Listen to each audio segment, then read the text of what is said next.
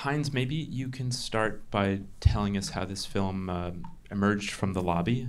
Um, you said in your introduction that this is a film about a man who wants to die but fails to, and the lobby's also pretty preoccupied yeah, with death. Yeah, and uh, you know, the in the lobby only John Erdman acted, and at at one point he said to me, "I really would like to do a film." Staying in bed, and I said, "Well, I will write one." uh, well, and then uh, another motive of this film. I at one point I really wanted to interrupt a so-called narrative movie by the camera person telling her side, because usually they are not uh, asked what they think about the whole game. And I thought uh, we should do it really properly and having, having her a long monologue that destroys everything that you uh, uh wait for in a movie. Uh, well, on the topic of John requesting to be in a film where he's in bed. You, I mean, you talked about you know the lobby as a space interesting you as a transitional area. Do, do you see the bedroom as that as well? Well, I mean, uh, my hobby is sleeping. Yeah. um, well, you, have talked you've talked about the the writing process yes. uh, happening pretty quickly for you once you start, you, you finish a script pretty, pretty uh, soon. no, not in this case. I mean, um, it was uh, the lobby was written in 15 days and shot in 15 days. But here we worked for at least a year. I worked with John. We rehearsed. We cut pieces out. We I included more pieces, and then before Claudio uh, and and uh, you invited me uh, to do this a film in Mexico. They said uh, we give you 12 days of shooting, and then I thought, well, and I think they expected an architecture film, but they said the only condition is that the film has to be longer than 60 minutes, and I said, well, no problem. so I I thought this is a fantastic way of producing, of. Uh, having producers, so they trusted me. They didn't know what was, I was doing. They looked at it, uh, but then they can tell what they think about it. But uh, what was the question? uh, it was just I was asking you if you thought of the bedroom as a, as a transition. Well, oh, but then into your writing process as well. The, um, yes, uh, yeah, it was a longer writing process over this year, and then after Claudio asked me uh, to uh, I thought I wanted to uh, do the uh, future in uh, actually in El Alto in Bolivia. And but then uh, I this film had no money at all. Done. We we didn't get funding. For, I, I don't get funding because I'm too old and uh, they don't trust old people anymore, and they fund more or less only first films and then let people alone. But uh, so we uh, we we funded it ourselves, so we were not under pressure to do it in a certain amount of time. So actually, I wrote the Mexican part. I think after no, it was written already. Parts of the conversation he has. Uh, uh, I I I uh, I wrote before, but then after the invitation, I wrote Mexican part. And when I saw how good Susanne, the camera person, is, I thought, oh, I should take her to Mexico too because she has to reappear in the future. So this is a process and not uh, worked out before we started shooting. But it, it was decided during the work. Yeah. Uh, I do want to get back to the writing process, but Claudio and Julian, um, I am curious, what was your, you know, impression of the final film? Yeah, uh, yeah. When I, I, I met uh, Heinz Emigholz at 2011 at the Riviera Maya Film Festival. I was uh, one of the programmers there at the Riviera Maya Film Festival, and before I I watched his films, his architectural films, and I was like really amazed through that kind of filmmaking. I think Heinz Emigholz is one of the best filmmakers trying to capture space and time through architecture and through that kind of, of films. He's a unique uh, filmmaker. As a producer, I want to do films or make films with uh, mavericks like Heinz Emigholz or people who wants to make films in different kind of production schemes and that, that, that kind of things. And then Julian and I, we uh, start a production company trying to do these things and travel to Germany, to Berlin. Uh, and, and, and there we uh, asked to Heinz Emigholz to produce a film about architecture because we are trying to make a, a short about uh, Barragan and that kind of, of architectures in, in, in Mexi Mexican uh, architectures. But Heinz has a long history behind with, with Barragan and he stopped us quickly and said, "No, we, I don't want to shoot anymore Barragan, but we want to. I want to make a, a, film, a future film in Bolivia." And I said, "No, let's do this not in Bolivia, instead in Mexico City." And that's when the suit starts in, in our relation, trying to make this uh, apocalyptic uh, sci-fi comic and and great uh, film. Uh, and we made this film at a house that uh, Julian has in, in, in Mexico. And uh, yes, and Heinz Emigholz were living with John Erdman and Jonathan Perel almost like a month in, in Mexico in the, in the middle of a chaotic retrospective in Mexico City with all the, his, his films and then start the pre-production there in Mexico and then the shooting for 11 or 12 to 15 days. We have a really nice time there in, in Mexico with a crew, an amazing crew, because we shoot with a lot of uh, young uh, people there. Uh, a, a, lot of uh, students or almost like a grad graduated uh, filmmakers. So was really great. Make films with uh, experienced people and renowned filmmakers as Heinz Emigholz, but also with a really young crew as the, sound recordists, the uh, line producers, the uh, camera assistants, and I think that kind of mixing are the future of, of, of, making cinema because it's able to make cinema in the margins of the industry and making these great uh, films like uh, like this one with people that really understand how a filmmaker as Hans Emigholz has in his mind and his vision with other filmmakers, young filmmakers that wants to make films not for uh, making money or not for yeah they want to make films for the experience and the vision because they have uh, yes uh, young visions yeah. Did you want anything? Well, well yes uh, well first uh, thank you for coming and also Thank you for the invitation on the festival. Um, I saw the films or, of Heinz uh, before Claudio was uh, telling me, and I thought that when he came to Mexico, he was going to shoot some architecture, folkloric or some colorful, and then it was amazing, you know, to see him how this. Uh, uh, taking a decision where to shoot to these devastated places that were so beautiful, you know, uh, and and his vision was uh, wonderful. The, the, the humor, uh, I, I, think all this combination is, is, is incredible art, uh, and, and I'm so grateful to meet him and to work with with an artist like him, you know. Uh, the team was fantastic. I must say. Uh, we worked with, yeah. There are these three books that form kind of guide points throughout the Book of Chinese Drawings, the Edgar Allan Poe poems, uh, Anatomy of Melancholy. Uh, can you tell us how these books found their, their way into the film? Because they are my three favorite books, and uh, they are actually staying at my bedside. Uh, we filmed in my bedroom because we didn't have money for a studio.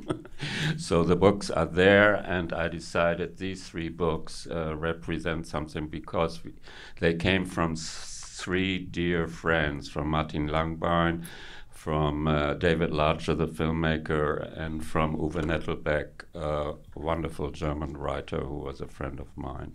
and all of them are dead. So for me, it's important to make a little monument within destroying the narrative or something, but showing something that I really liked. Yeah, it's very positive, I would say. Uh, there's well, there's also like a, there's a fourth book that your your film a what book? A fourth book that your film is dedicated to at the end with the Philip K. Dick. No, Philip K. Dick, uh, I knew, uh, and he sent me this. Uh, shortly before he died, he sent me a book of his, and he wrote into ein uh, guter Freund, uh, leb wohl, Heinz, which means a good friend, uh, live well, Philip. Yeah. So he and I read, uh, I I read all his books. I uh, and you see them in, in on the board, uh, all 36 novels or 38, what he wrote uh, on the board over the bed. So Philip K. Dick loved uh, uh, uh, comics, and I do drawings a little bit in a comic style. So that's why he knew my work, and so I got in contact with him. Uh, we can start taking some audience questions. Ready? Yep, in the back. We'll have a mic come to you. Um, or I can just shout. Yes. Okay. Um, the the jacket uh, that was deconstructed um, that he wore and changed. Uh, what what's the reason for that? And, and the uh, actually, it was not deconstructed. I have a tailor. It was made in Gozo in Malta, and I asked my tailor, "Please do me a jacket that is half finished." So it was constructed, but only halfway. And for me in the future, well, to say the obvious is there are not really any uh, customs. Uh, no, no, no. What uh, workers like that anymore? You get. Um, he is a very old man. I think he's the last tailor in Gozo, and then you can buy uh, them at Zara or M and M uh, much cheaper. So uh, it's a kind of uh, uh, yeah, un- the unfinishedness, unfinishedness of it. Uh, I I was intrigued to that. So it goes through the whole film. So it's right to get the title. You know. We have a microphone now. craftsmanship I meant. Yeah? yeah. Hardly any craftsmanship is left in, in our so called developed countries, and this is just a terrible thing. Uh, thank you for that wonderful movie. Um, my question's about the credits. I'm not yeah. used to watching credits. I mean, you know, we don't pay attention to them, but then the name, a few names flashed by, among which uh, Walter Benjamin, and I'm just wondering, what did I see? What was there? Uh, Walter Benjamin is that, that last piece, A Woman at Night, uh, says the, and it's actually a poem by him about Karl Kraus. And Karl Kraus uh, appears in two pieces there too in that film. And Walter Benjamin, this poem about Karl Kraus, The Lost Ones, it's called. And you, uh, when you can see on my website, you on my uh, you will find the whole. Uh, you can read which poems I use. I only used poems before uh, World War One, and then the Walter Benjamin thing from uh, thirty one. So. Uh, this all is if these poems, finding these poems is a fruit of because I, I had a I had a project to read all issues of his magazine Die Fackel, The Torch. That's 22,000 pages. I read them all, and I must say I learned so much than never before. So I, I stuck in that time, especially the time before World War One is for me uh, uh, the time you have to study to find out why everything goes down the drain now. I mean, in my family, for example, my grandfathers died in World War One, so the family the families were destroyed, and then uh, the Hitler uh, arisal of Hitler and the Second World War is just an outcome of the First World War. So uh, this is uh, so my uh, agenda to go into these historical realms, and I think I will, yeah, continue with that. But your question was different. I remember something different. What was it? I'm starting to tell stories You're- that you you're- don't want to hear. I mean, but, but I mean, you're, you're have weaving together question. lines from many other texts, not just. yeah, uh, no, about five poems. Yes, and he is reciting the German poems, and then they uh, rehearse the one poem for a second time together with Susanne. So five poems, yeah, uh, and uh, yeah. I have another question. Uh, the woman who was the scribe, very interesting character, and, and how did she come into being? And then she fell asleep on us. What? The, the, the scribe, the woman who wrote. Yes, she, she's a camera woman, and then she has to slave for him uh, and and write this ridiculous love letter. Yes, and then she falls asleep about it. Yeah. Yeah. And, and I, How I- does she come into the picture? She works for him, and she does. It seems like she on, not only did the camera, but uh, did uh, uh, wrote down his letters that he dictated, and and she didn't do it with much purpose. What? that- um, she was not so purposeful in, in capturing his his words or thought. No, no. and then you know what happened in the forest, you know. Yes. You mentioned John uh, wanting to be filmed in a bed, but in the film, he's also talking about how good he looked in this suit in the lobby. Was this Yes. actually an, a, a conversation that you had about this? No, I mean you. Uh, no, no. John is an actor, and not. I don't. I didn't make a film about John. I mean, it just uh, that, that he. Uh, uh, the words there, they are mine, and but the idea. Let's do a film where the main actor stays in bed all the time. Was quite intriguing for me to, as a kind of task. How would I do it? Yeah. so when I, and when you film architecture too, uh, how do you film it? But a bed is just a simple thing, and you, you have to find a million ways to film a bed, and this was a, a task for me. Yeah. I mean, I'm I'm always fascinated by the way you um, frame and break up your shots, and in this film, you're often uh, splitting up spoken lines within a sentence, um, and it just gets me back to thinking about what you said in the introduction introduction about someone wanting to die but failing to die, but also the way you're cutting this film in terms of the lines spoken. It's sort of interrupting again this idea of interrupt interruptions and just interrupting, uh, I guess, the main characters. Uh, desire to have any kind of discourse?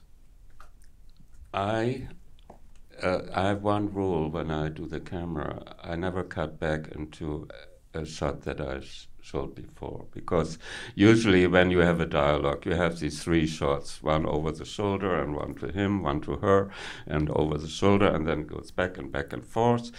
And I think this is cheating to the extreme. Every time I see something like that, I, I feel cheated, and uh, because I know exactly they did this one take, and then the second take, and then the third take, and then they had the whole run. If I would do that, you would die by boredom. You know, I, I, uh, I.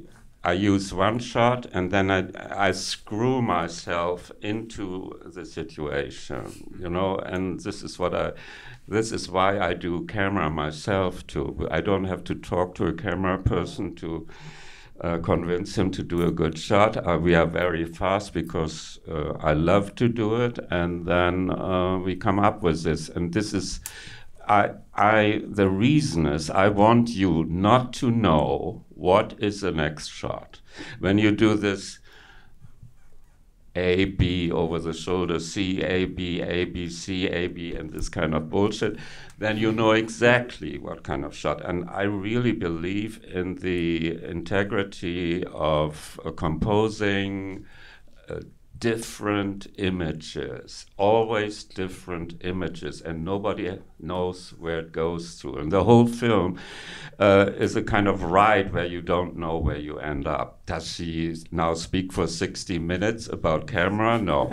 and, you know, and then some, yeah, it's, uh, uh, and I have a certain uh, I want that you really listen to what is said. So we do very careful sound work, so that the the cutting, that the level of uh, speech or language is always on one level, so you, you can really understand. But you see the different viewpoints. I want the camera being really a protagonist in that play, yeah, and not something that you should forget or identify with. I don't believe in this stupid theory the camera is the eye. This is literally bullshit. You know, the camera is not the eye. And uh, uh, yeah. So the camera is there undoubtedly, and it keeps you out of maybe it, it distracts you from a certain way of looking at him. He always plays to the camera, and then I do shots with the same text from both sides, so I see him how he looks into the direction of the camera. So it's a kind of um, reconstructing the space around him, yeah, and uh, yeah. How long does it take to edit? To do what? To edit the film. Oh, not very long. uh, yeah, we, we start with. I always edit where I'm, uh, where I think this has to be like that, and what what is not so clear I leave out. So we started maybe with the books, uh, which is totally clear it has to be like that, and then we edit scenes. But in this way, I had a script then at the end, so we edited a long script. Yeah. Yeah. Um, we're out of time, but if there is one last question, we can take it. Right. Uh, can you just talk about your comedic influences? Because there's so much of the movie that is funny, right? Uh-huh. Uh, I like that you say that because uh, I said I sh- maybe I should make money by stand up, but. um, I don't make money with film, you know. Yesterday I saw uh, Megalopolis, and they call it Megaflopolis or something. and I thought this is such a sad movie, uh, kitschy, and it didn't work. But so it was a 140 million flop. So my advertisement is now I can do a flop for 30 thousand. Okay, we have to wrap it up. at Heinz, thank you so much. Claudia James, thank you.